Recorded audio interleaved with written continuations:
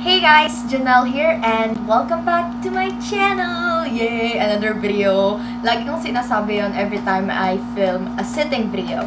And sorry if medyo dark because it's so rainy here. And sorry if may naririnig kayong noise. Galing siyang aircon. Oh, nakakainis nga. But anyways, today I am so happy to be filming again a sitting video since I always upload like vlogs from one of my events. You know, mahalaga ngayon ay I'm filming. Yes, by the way, hindi to spinny chair, so super effort akong gumano. But yeah, today I'm going to do a huge collective thrift haul since I so so so so so love Ukay. I don't know, there's something about Ukay na wala sa stores. Usually, like, pag nakahanap ka ng branded and you like style, oh, the bomb. And yeah, yun lang. And by the way, if you're asking kung saan ako nag-thrift, I thrift at Balayan, dun sa katabi nung, um, hindi ko lang kung anong ano yun eh, bangko, China Bank ba yun, or ano, basta yung malapit sa court, then bangko, tapos dito yung ukay sa hilera nila, and yun. So, so I'm gonna stop with the mumbling, so without further talking, let's go ahead and get started. So first, I'm gonna start with the tops and the dresses and then bottoms. So, so the first thing that I have in here is this basic black crop top and I got this for uh, maybe 120 pesos. Sorry. I know medyo pricey but I guess it's a good deal since new arrival to don and Zara siya.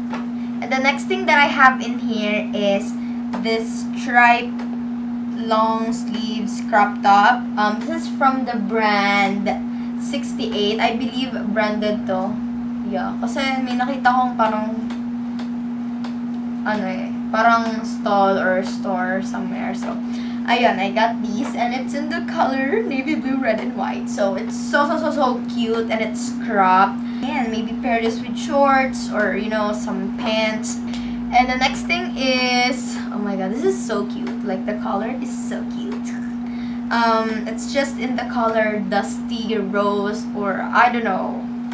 Ang cute niya. Para siyang pambata, as you can see. Well, this is supposedly my classmates. And she found this, but then hindi siya kasha sa kanya. So, I have it. And yeah, it's just this like peplum top with some ruffles on the sleeves. It's just so, so, so, so cute. Yeah, I love it so much. Sorry if I can't indicate the price na since I bought this a long time ago and yun, hindi ko na siya maalala. But yeah. And it cinches on your waistline which shows your shape which is so nice. So here I have this red and white striped top. I got this from Ukay Ukay Hub sa Tagaytay. And yeah, it's just oversized and so cute. Napaka K-pop niya, right? Korean style, I mean, K-fashion. Ayun. I got this for 180 or 50. 'Di ba Medyo pricey siya. Kasi yung mga nasa taas dun sa Ukay-Ukay Hub, like yung makikita mo pagpasok mo, is medyo pricey talaga. Swerte mo na lang if nakahanap ka ng medyo mura doon. But, yeah. I like these. And super comfy niya, like, so soft. And the last thing for the top tops is this under stripe oversized top. It's from Nike. It is so pretty, right? Like, ang ganda niya talaga. Like, the sleeves are long since it's oversized. And it has this, logo, ito. Embroidered logo ng Nike. And you can use this as a dress and pair it with some shorts maybe or some trousers. It's gonna look so freaking good. I love it. So, we're gonna go to dresses. I don't have that a lot of dresses, but this is this too is from the Okay Okay Hub as well. Since they have a lot of dresses there, like, super gaganda ng dresses doon. Well, hindi siya dresses, jumper siya actually, but you can use this as a dress as well. So, it's just this red plaid dress, and it has a ribbon here on the waist. So, adjustable siya. Well, medyo malaki siya sa sa... medyo malaki siya sa akin, and buti na lang merong siyang ribbon, so na-adjust siya. It is so nice. I just pair this with some black top underneath. So, Ayan. My ultimate favorite. Like, can you see the print? Like, this is so freaking nice. Malaki din to sa akin, but I don't care na I wanna buy it. So, it's just this, I don't know what print this is. It's a gray plaid jumper dress. And it is so, so, so cute. Wait lang, tatayo ako para makita nyo. Like, oh my god, it, is so nice. Nakailang sabi na ako ng it is so nice, ha? Nabilang nyo ba? And now, we're going to proceed to the bottoms. So, I have here trousers. So, oh my god, by the way guys, meron akong obsession with trousers. Like, I don't like pants na. Gusto ko na talaga trousers. I don't know, like high-waisted trousers. Like, they're everything. They're so comfy and they matches everything. So, this is the first trousers that I got. I got this for only 50 pesos dun sa Balayan since 100, no, 50% off. 100 siya before and now it's only 50 pesos which is such a great deal. This is a high-waisted trousers and it's navy blue. Medyo mahaba siya sa akin but I don't care. I'm gonna wear white sneakers. So, yeah. By the way, trousers look good with any rubber shoes like gigantic rubber shoes, yes. So, yeah, I really like this one. This is the first trousers that I bought from Ukay Ukay. Usually kasi online ako bumibili ng trousers. So, ayun. It's high-waisted and this is how the back looks like. Wala siyang button sa likod, so... I don't care. Ay, meron pala! So, may bulsa pala talaga siya sa likod. Tapos, may butones. Hindi ko napansin. So, and the next one is this green, army green trousers. Well, by the way, I bought this from Centro Mall sa Lemery. Yes, may ukay-ukay doon. Wala. Wala kasi akong mabili. So, binili ko tong trousers. Mahaba siya sa akin. Tapos, sira yung ends. So, kailangan siyang ipatahik. And mukha siyang pang office ride, but it's nice. The color is so nice. This is from the brand Inomo Executive. And in the size 34. So, I guess this is US 34. And hindi siya ganun ka-high-waisted, which is so sad. But, anyways, I like it naman. I got this for 85 pesos. So, the first skirt is this... Ano ang tawag dito?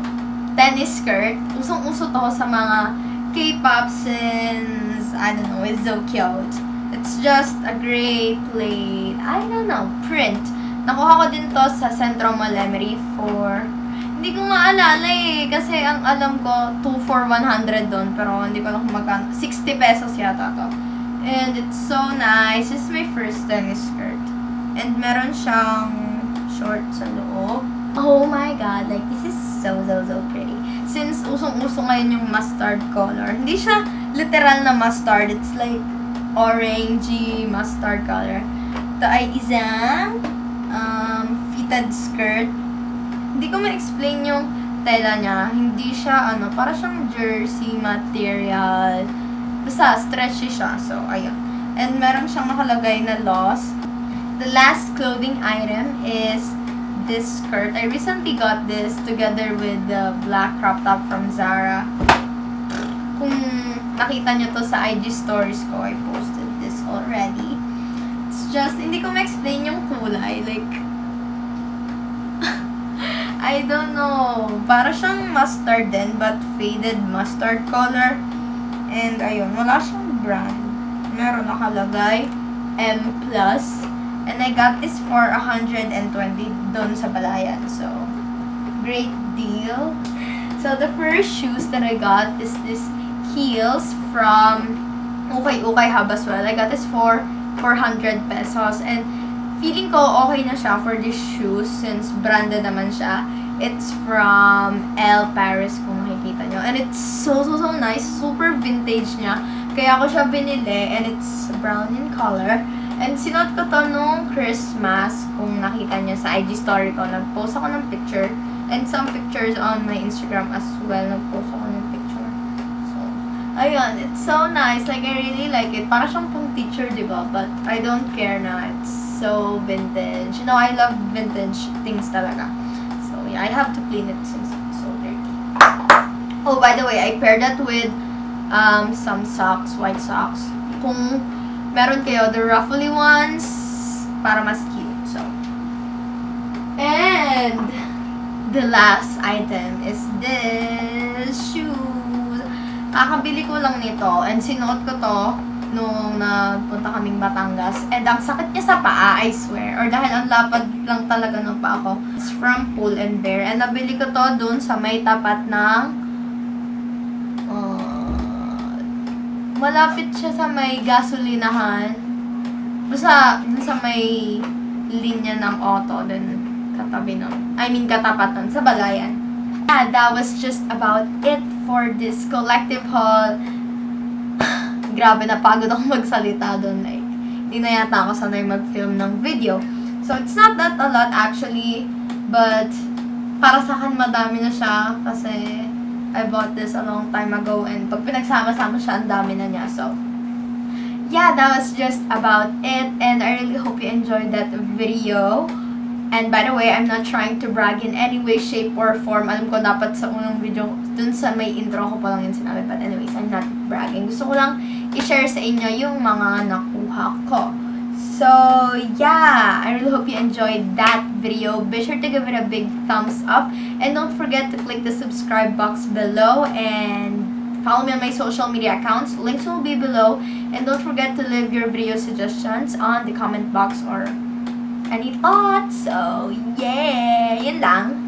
And I will see you guys next time. Bye! So, kailan kayo next time yan? So, bye guys!